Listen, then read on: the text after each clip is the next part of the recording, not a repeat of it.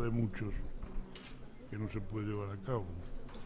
Esperamos que entiendan que la exposición hecha por el señor representante de la Federación Inglesa, midiendo las diferencias de cultura, midiendo un montón de cosas, entiendan de una vez por todas que las leyes tienen que ser para cumplirlas y no que entren por un lado y salgan por el otro. Pero si, eh, ¿quién las hace cumplir concretamente? Porque, eh, o sea, desde, el gobierno y desde usted como autoridad del AFA, no, si esto no soy, se pone un, un fin a, a, los barras bravas, si esto no se, sí, sí, pero si esto no ponemos un fin a las barras bravas, van a seguir actuando, Grondona. Ustedes. ¿Y cómo lo voy a poner yo si no soy autoridad? Si yo fuera autoridad, eh, lo pondría a poner. Yo que te invito.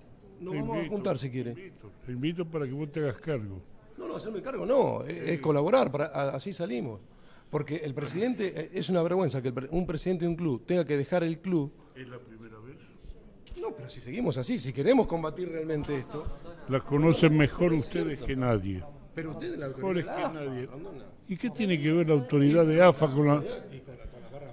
Ustedes son, ustedes son parte total. Ustedes son. Ustedes son los que arreglan. ¿Qué opinión, ¿Qué opinión le merece con lo que pasó con el presidente de los Andes?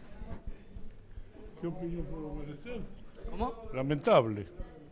Los que se van a quedar sin dirigentes, eso es lo que tendrían que hacer. Y después ir ustedes a la dirigencia. Pero ¿Cuál es el camino a seguir entonces? El camino.